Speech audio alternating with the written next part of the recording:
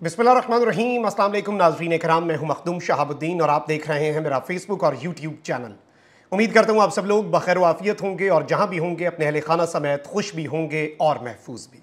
नाजीन कराम बड़ी आम तरीन तफसलत हैं। पहले कानून शिकन अफसर के कोर्ट मार्शल की बात चल पड़ी है और वो अहम तरीन तफसलत जो आवाम सुनना चाहती है। और उस तरफ़ अब मामला जो हैं, वो बढ़ चुके हैं जिस तरफ़ अवाम मामला को जाता हुआ देखना चाहती है। ना सिर्फ़ पहले कानून शिकन के कोर्ट मार्शल तक बात है, बल्कि अब कोर्ट मार्शल्स का सिलसिला चलेगा।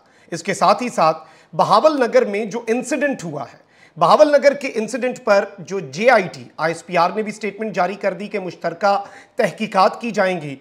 तो जे में कौन कौन शामिल होगा, उस हवाले से भी मैं तफसलात आपके सामने रखूँगा। पाकिस्तान तहरीक इंसाफ ने अपनी ताकत दिखा दी है।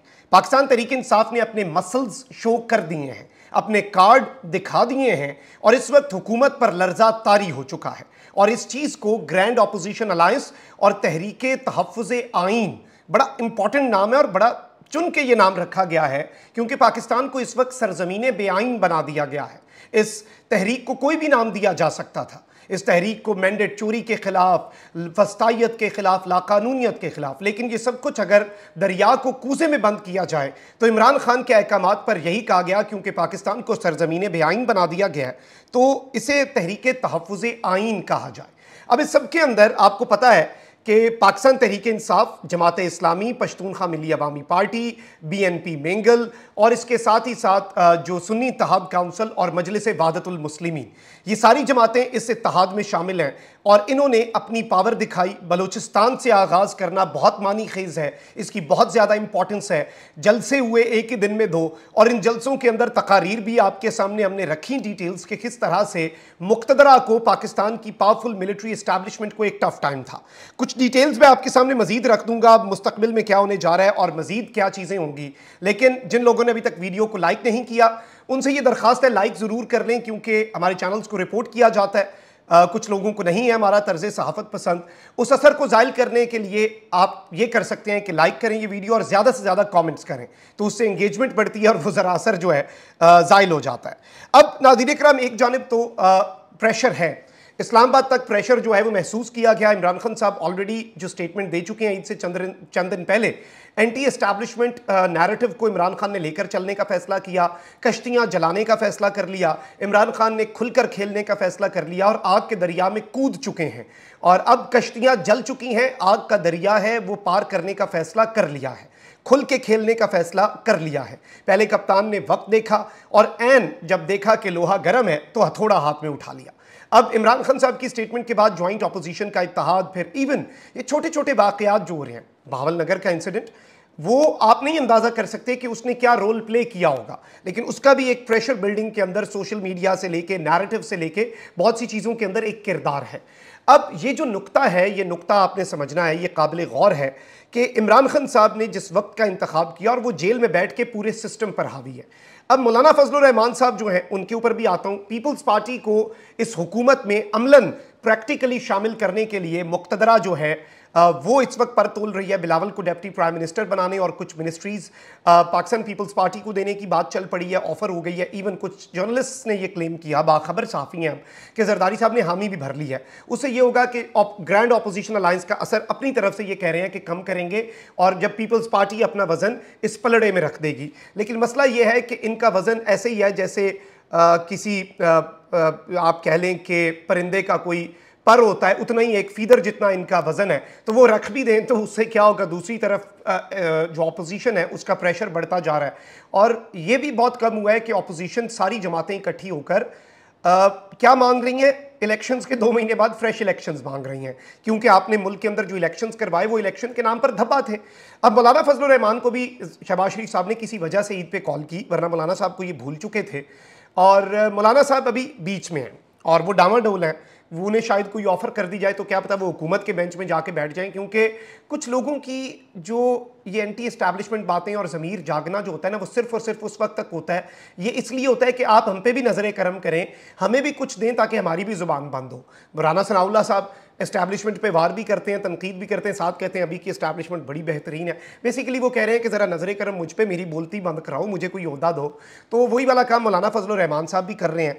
लेकिन अब पाकिस्तान तहरीक इंसाफ चूँकि ये नहीं चाहती कि मुकम्मल तौर पर जो चीज़ें हैं उस तरह से हों तो आज आपको पता है कि जो पशीन में अपोजिशन इतिहाद के जलसे के शुरा से जब खिताब के लिए शेर अफजल स्टेज पर आए तो शुरा ने डीजल डीजल के नारे भी शुरू किए। शेर अफजल मरबत ने बड़ी पॉलिटिकल मेच्योरिटी का मुजाहरा करते हुए कहा कि डीजल के नारे ना लगाएँ, क्योंकि उनसे बातचीत चल रही है। तो शेर अफजल मरबत ने यह भी नहीं कहा कि नारे नहीं, उन्होंने होल्ड पर डाल दिया कि अभी बात हो रही है तो अभी ये नारे ना ही लगाएँ तो बेहतर है। और इस सब के अंदर मैं आपको ये बता दूँ कि इस वक्त प्रेशर जो है वो बिल्ड हो रहा है। और पाकिस्तान तरीके इंसाफ के जो लोग हैं, वो भी एक बड़ा वाजे और दो ठोक मैसेज दे रहे हैं।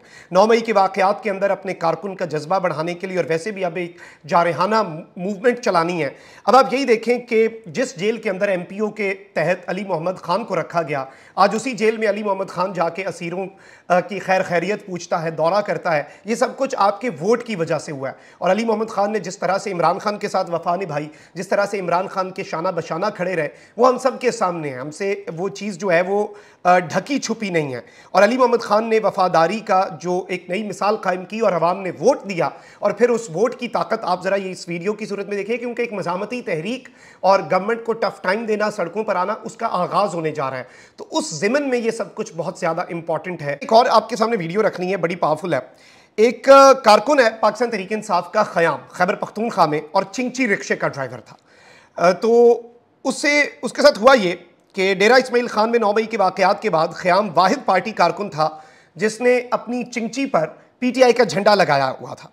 और उसे काफ़ी परेशानी का सामना भी करना पड़ा। और उसके, वो आपको पता है, फिर जो जुल्म होता है, जबर होता है। इस सब के अंदर अली मोहम्मद अली अमीन गंडापुर जो है, वज़ीर अला के पी, ना सिर्फ़ उस कारकुन के पास गए, उसके रिक्शे में बैठे और उसके साथ इजहार यकजहती किया। देखिए, ये छोटे छोटे एक्ट्स हैं इमरान खान साहब ने हमें नहीं हुक्म दिया अपने सारे पार्टी रहनुमाओं को कि ईद पे जितने असीरान हैं, हर M N M P A और टिकट होल्डर जाएगा उनके घर, उनके अहल खाना से इजहार यकजहती करेगा, अपनी ईद उनके साथ बनाएगा और जो 9 मई के वाकयात के अंदर जान से गए या फिर दो साल के अंदर पीटीआई के जलसों में उनसे भी इजहार यकजहती करेंगे और उन्हें पीटीआई ने अपने शहदा डिक्लेयर किया। और गवर्नमेंट ऑफ़ केपी से लेके इवन पंजाब के अंदर जितने लोग हैं वो गए और सबने जाकर उनके हौसले बढ़ाए उनके साथ खड़े हुए चटान बनकर खड़े हुए। और जब वज़ीर आला इस तरह का काम करता है तो एक कारकुन के अंदर नया जज्बा आता है और वो जज्बा बड़ा काम का होता है। आप जरा अली भाई अली भाई। हाँ। बड़े तस्वीर ला। बहुत मेहरबानी बोल सका कि वो चीची वाला है पूरे थ्रू आउट जो ये चीची का कमाल है। ये वो चीची है जो नौ मई से लेके आखिर तक। हाँ, झंडा और इस मोड़ पे झंडा उतरता था अगले मोड़ पे अपने पैसों पे लगा के लगा देता था। चलो बोलो जी तो नाजीन करम आपने ये वीडियो क्लिप देखा अब जरा बड़ी इंटरेस्टिंग खबरें हैं वो आपके सामने रख दूँ। बहावल नगर वाकई की तहकीकात के हवाले से आपको पता है कि पंजाब हुकूमत का वैसे इसमें रोल तो कोई नहीं रहा, वो न्यूट्रल हो गए थे। उन्होंने कहा था कि दोनों महकमे ऑल दो पंजाब पुलिस और सब एक्सपेक्ट कर रहे थे कि मरीम नवाज़ वज़ी अला बन के दिखाएँगी, लेकिन सारी बात है उनके पे चेक से भी बहुत ऊपर का मसला था ये। और आईजी पंजाब साहब की स्टेटमेंट भी आपके सामने है पुलिस वालों की गलतियाँ भी गिनवा रहे थे। और उन्हें एस ओ पीज़ याद आ गए आई जी साहब को, जो किसी के घर पर रेड मारते हुए जो स्टैंडर्ड ऑपरेटिंग प्रोसीजर्स हैं, वो याद आ गए।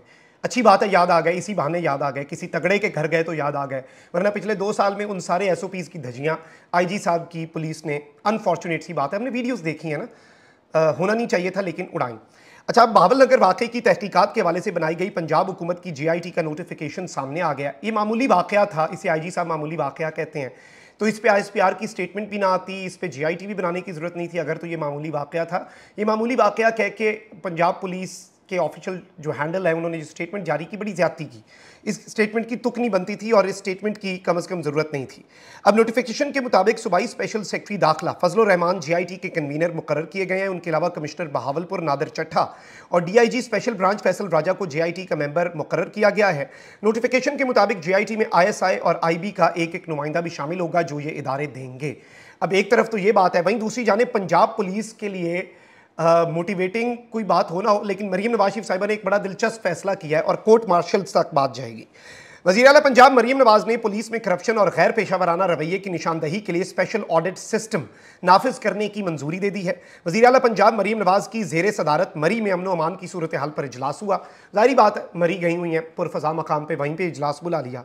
इजलास में आई जी पंजाब भी गए, ऑल द वे मरी। उन्होंने ब्रीफिंग दी। इजलास में ऑर्गेनाइज साइबर क्राइम के स्पेशल यूनिट और आई टी ट्रेनिंग का असूली फैसला किया गया और पुलिस में करप्शन और गैर पेशा वराना रवैया अनप्रोफेशनल बिहेवियर जो हुआ और इन्हीं आई जी साहब ने करवाया तो नून लीग की हुकूमत इंश्योर हुई।